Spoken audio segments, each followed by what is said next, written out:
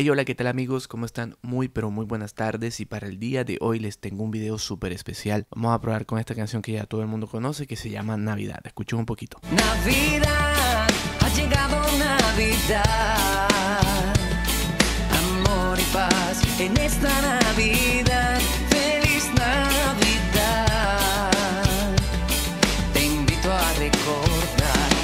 Perfecto, entonces para el día de hoy tenemos a este personaje de la compañía Noise Ash. En el video anterior estuvimos hablando del, eh, se llama el Bax EQ. Y así como el Bax EQ, este, el Tone nos ofrece también dos personajes, que está el Tone EQ y está el Tone EQ, este otro, el Tone Pro EQ. Eh, entonces, eh, este personaje básicamente es la emulación de uno de los ecualizadores más raros e icónicos con banda fija, eh, Q proporcional, gráficos que se hayan elaborado jamás. Este man es un ecualizador que fue hecho por los ingenieros de Motowns. Motowns, ya saben que fue una casa eh, disquera, también tenía estudios de grabación por allá en los años 1960. Aquí está, esta es la página. Ah, bueno, eh, como está el lanzamiento, su precio original es de 150 dólares, pero está, te lo dejan en 70. Entonces es súper interesante para que lo tengamos en cuenta. Ahorita lo vamos a probar, vamos a ver. Ok, para Windows los formatos en los que viene son BST3 y AAX. Para Macintosh viene en BST3, AAX y Audio Units. Aquí es chévere porque ellos nos le dan un espacio al tema de, del demo. Ellos dicen que podemos probar todos los productos usando el demo mode, que es completamente funcional, que no tiene fecha de expiración. Entonces, as the demo mode limitations, eh, ah, ok, tiene solamente una limitación, que el output del plugin se muteará brevemente cada 30 segundos. Eh, si, si, si, lo, si gusta, puedes comprarlo, puedes comprar una licencia y luego autorizar el demo mode. Ok, nos dan la oportunidad de tener un demo, así que es bien interesante. Eh, ¿Qué más dice acá? Eh, viene para Windows 7 de 64 bits en adelante. Este viene para Macintosh 10.9.5 en adelante. Me parece súper chévere. Eh, también funciona para eh, Apple Silicon nativo. No necesitamos ningún dongle USB para poder tener este plugin. La instalación puede ser online o offline. Y tenemos una licencia, tiene, la podemos usar hasta en tres computadoras. Entonces me parece súper bien lo que nos dice acá. Entonces vamos a la práctica. Eh, una cosa clave y fundamental por lo que yo veo este personaje y me da muchas ganas de usarlo en mi workflow. Ya yo se los he dicho, limitarme muchas veces, limitarnos nos ayuda como a enfocarnos y a ser un poco más creativos. Entonces aquí son bandas fijas. La Q es proporcional, el ancho de banda es proporcional. Entonces tiene 50, 130, 320, 800, 2000, 5000 eh, y 12.500. Entonces tenemos 3, 6, 7 bandas. No es, una, no es un ecualizador eh, limitado, no, tenemos 7 bandas. Y aparte nos da este knob, ¿verdad? Que eh, me parece chévere. Yo ya se los dije. A mí me gusta, por ejemplo, algo de un plugin gratis que sacó la compañía Pulsar que nos daba esto. O sea, el, el knob, digamos, aquí está continuo el volumen está continuo, pero también nos da la opción de que sea por, por pasos, step. Entonces, de pasa de 0 a menos 1, de menos 1 a menos 2, no pasa por menos 1.5, menos 1.7, no. Entonces, esto nos da también la posibilidad de ser eh, bastante objetivos y los pasos nos ayudan como a comprometernos más con cada movimiento. Este plugin, eh, aquí está, aquí está este slider de, encendido y apagado. Entonces esta opción me parece súper chévere. Yo personalmente lo voy a dejar en step. También tiene un high pass filter, un low pass filter y tiene una perilla de gain. Eh, esto es la versión sencilla, ¿ok? La versión del Motown EQ. También tenemos esta opción de width, de colocarlo mono. Tenemos un slider de in y de out. Esa es la versión sencilla. La versión Pro, vamos a ver la versión Pro de este Motown. Aquí está la versión Pro. Eh, bueno, la versión Pro nos ofrece algo distinto. Nos ofrece esta, esta perilla de frequency. Pero si nosotros la colocamos half, o sea, la mitad, los valores eh, que vamos a estar moviendo acá, las frecuencias se reducen a la mitad. Por ejemplo, aquí ya no es 800, sino 400. Eh, ya no es 2000, sino 1000. Ya no es 5000, sino 2500. Entonces esto es chévere, chévere, chévere. Es una opción bien interesante. Em, nos ofrece también eh, Mid-Side Mode. Aquí está linkeado. Podemos deslinkearlo eh, y podemos activar el Mid-Side. Entonces vamos a ver algo. Si yo tengo independiente el Mid-Side, por ejemplo, en la parte, en el canal left o mid, yo puedo colocar los valores a la mitad. Es decir, aquí voy a estar moviendo no 800 sino 400, pero en el side sí puedo dejarlo normal y en el side sí voy a poder estar moviendo los 800. Eh, entonces me parece una bastante versatilidad la que nos están dando con este Motown, la compañía Noise Ash. Eh, como les digo, acá en el menú, en los settings, también contamos con oversampling, lo cual va a aumentar la resolución del plugin, es decir, va a darnos más calidad en el procesamiento y también vamos a evitar aliasing. Ok, tenemos las otras opciones, el GUI, podemos ampliarlo, reducirlo, eh, podemos activar los tooltips, tenemos el Enable Open GL, eh, por default viene desactivado, pues yo no tengo problema, entonces lo dejo desactivado. Em, lo mismo, todos los plugins de Noise cuentan con lo mismo. Aquí podemos ver el manual del producto, eh, chequear si, si, tiene updates o no.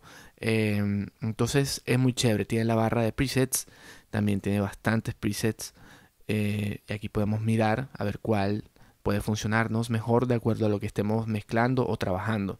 Pero para temas de masterización me parece muy chévere y muy, muy, muy interesante esto que hace este personaje. Vamos a colocarlo eh, normal. Eh, vamos a colocarlo aquí normal, la perilla normal. Vamos a desactivar el mid-side y vamos a ver cómo se comportan las, las, las frecuencias, los anchos. Eh, y vamos a ver cómo se comporta cada banda con este personaje que yo tengo por aquí, que es el EQ Curve Analyzer. El EQ Curve Analyzer, vamos a activar el plugin. Pum, ahí ya está activado, está encendido.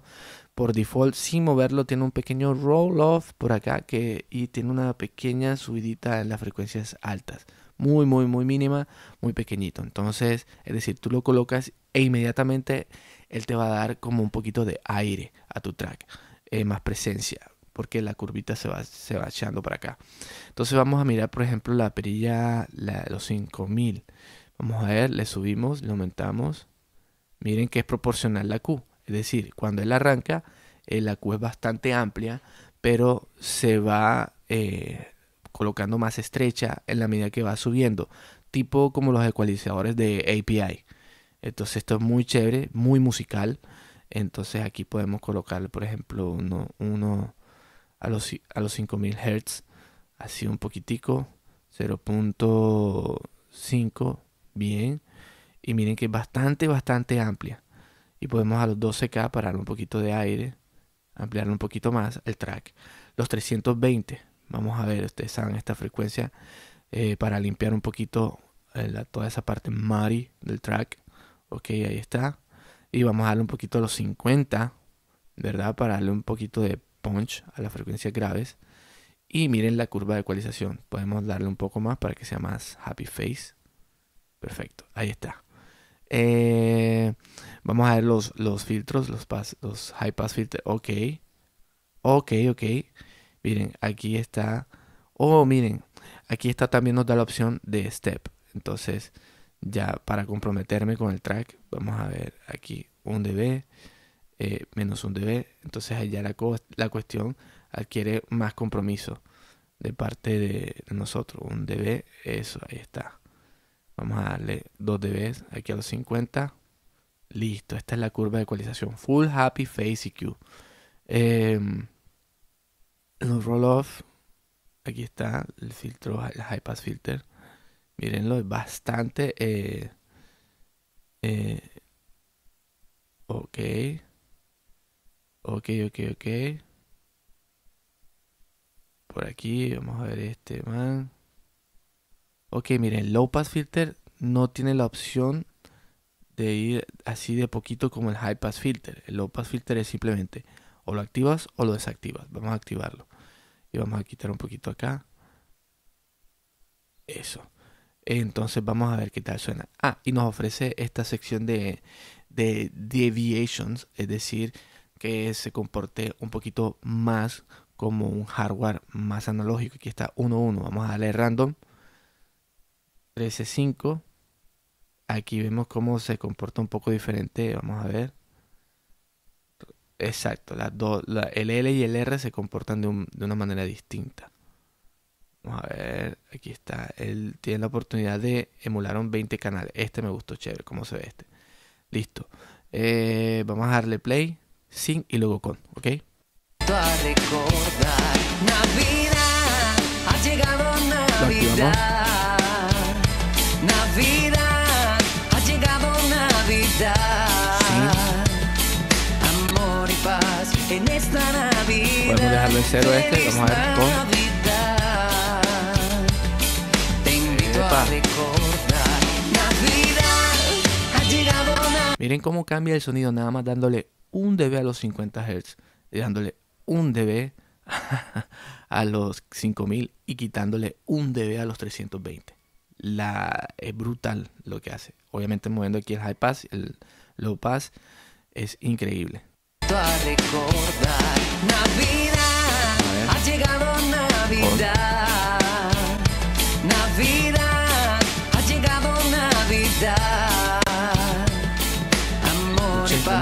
En esta Navidad.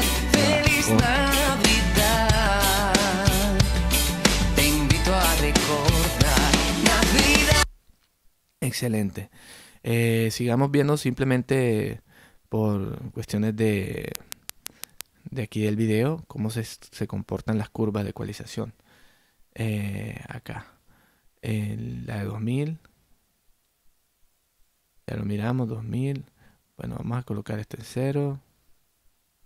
Vamos a colocar este en cero. Vamos a colocar este en cero. Ok. Eh, este también vamos a colocarlo en cero. Vamos a desactivar el high pass y el low pass filter. Perfecto. 2000. Está, ahí está, ahí está, ahí está, míralo.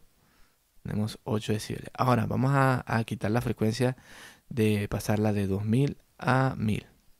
Mírale, ahí está. Si se dan cuenta, la perilla, aquí nosotros podemos de alguna manera como más o menos como hacer un- una especie de barrido de 2000 hasta los 1000 por frecuencia. Entonces, esto también es chévere. Lo único es que cuando ya tú hagas el cambio, todas las demás frecuencias se van a ver afectadas. Entonces, por ejemplo, si tú quieres subirle a los 5000, ¿verdad? Le quieres subir a los 5000, vamos a, por ejemplo, colocar este ejemplo. Y mueves aquí, no mueves solamente la de 2000, mueves también la de 5000. Pero bueno, eh, en caso que quieras ser un poquito eh, quirúrgico con este man y solamente quieras comprometerte con una sola frecuencia, lo puedes hacer. O sea, tienes la perilla esta y puedes venirte para acá. Entonces funciona bien. Recuerden, la Q es proporcional. Eh, en la medida que vas aumentando el volumen de esa frecuencia, de esa banda, pues se va colocando más estrecha el, ancho de banda, la Q, para que lo tengamos claro. Pero por lo general este ecualizador se usaba más que todo era para, eh, para moldear la señal, como lo que yo hice ahorita, para darle un, un poquito de, de warm, de, de que se abra el track. Es bien interesante. Es bien interesante lo que este ecualizador hace con nuestros tracks. Es súper musical. Y si estamos hablando de masterización, los movimientos tienen que ser sutiles. Un dB máximo 2. Como yo se lo mostré, aquí coloqué un dB y aquí a los 5000 un dB y el, y el cambio se nota inmediatamente. Vamos a verlo nuevamente para que ustedes lo noten. Sin y luego con. Y activando aquí el high pass filter. Sin Y ahora con- escuchen el Navidad. Navidad. Ha llegado. Oh, y vamos a quitar aquí el de los 320. Navidad. Escuchen Te invito a recordar Navidad, ha llegado Navidad. solamente moviendo un dB en, en tres bandas. Que también podemos trabajar mid-side con este personaje. Entonces, eh, realmente esto es todo lo que podemos lograr con este plugin. Es muy sencillo, es bien straightforward. En la descripción les voy a dejar el link para que puedan visitar la página. Los que puedan tal vez aprovechar esta promoción porque este es uno de esos ecualizadores que pueden fácil, fácil, fácil entrar en tu workflow. Eh, simplemente porque tenemos, para mí, las, las, eh, está step, aquí esto, o sea, se da por pasos.